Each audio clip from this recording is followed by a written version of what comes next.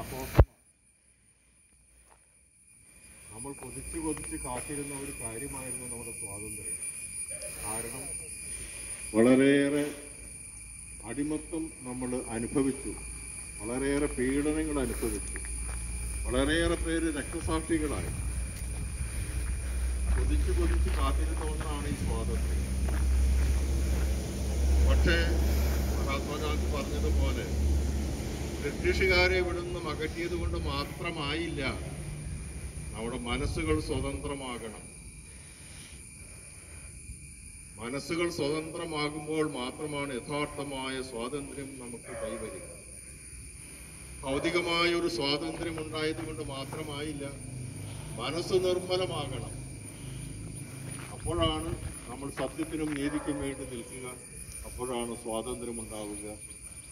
മറ്റുള്ളവരെ പരിഗണിക്കാനും ബഹുമാനിക്കാനും ഒക്കെ നമുക്ക് കഴിയുന്ന ആ സുന്ദര മുഹൂർത്തത്തിൽ മാത്രമാണ് നമ്മുടെ മനസ്സ് യഥാർത്ഥമായ സ്വാതന്ത്ര്യത്തിലേക്ക് എത്തിയെന്ന് പറയുന്നത് മഹാത്മാഗാന്ധി പറയുന്ന ഏഴ് സാമൂഹ്യ തിന്മകളുണ്ട്. അത് ഇന്നും നിലനിൽക്കുന്നു. തത്വദീക്ഷയില്ലാത്ത രാഷ്ട്രീയം ധാർമ്മികതയില്ലാത്ത കച്ചവടം ആത്മാർത്ഥതയില്ലാത്ത ആനന്ദം. പരിത്യാഗമില്ലാത്ത ആരാധന. മനസാക്ഷിയില്ലാത്ത മനുഷ്യ നന്മയ്ക്ക് വേണ്ടി മനുഷ്യ സുമനസ് അല്ലാത്ത ശാസ്ത്രം. അങ്ങനെ തുടങ്ങിയ ഏഴ് കാര്യങ്ങളാണ് മഹാത്മാഗാന്ധി പറയുന്നത്.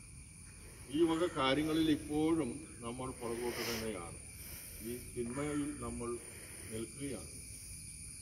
എന്ന് നമുക്ക് ഇതെല്ലാം ഇല്ലാതാക്കാൻ സാധിക്കുന്നത്. മഹാത്മാഗാന്ധി പറയുന്ന മറ്റൊരു തിന്മ സമ്പത്ത് അധ്വാനിക്കാതെ നേടുന്ന സമ്പത്ത്. ഇന്ന് പലയിടത്തും അത് തന്നെയാണ്. ഇന്നിപ്പോ നമ്മുടെ രാഷ്ട്രീയമൊക്കെ നോക്കിക്കഴിഞ്ഞാൽ എല്ലാം കാണുന്നത് ഇത് തന്നെയാണ്. സമ്പാദിക്കാൻ വേണ്ടിയിട്ട് കാട്ടിക്കൂട്ടുന്ന കാര്യങ്ങളൊക്കെ ഇതൊക്കെ നമ്മുടെ അടിമത്തമാണ് കാര്യം.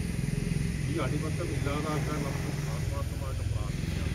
നമ്മുടെ മനസ്സിനെ തന്നെ സ്വാതന്ത്ര്യത്തിലേക്ക് നയിക്കാൻ ഇടവരുത്തണേ എന്ന് നമുക്ക് പ്രാർത്ഥിക്കാം. അങ്ങനെ നമ്മൾ ഓരോരുത്തരും മനസ്സിന്റെ സ്വാതന്ത്ര്യം അനുഭവിച്ചാലാണ് നമ്മൾ ഈ ഭാരതത്തിൽ ഈ ലോകത്തിൽ നമ്മുടെ സമൂഹത്തിലൊക്കെ സ്വാതന്ത്ര്യം ഉണ്ടാക്കാൻ ഉണ്ടാവട്ടും ഈ സ്വാതന്ത്ര്യ ദിനത്തിന്റെ എല്ലാ ആശംസകളും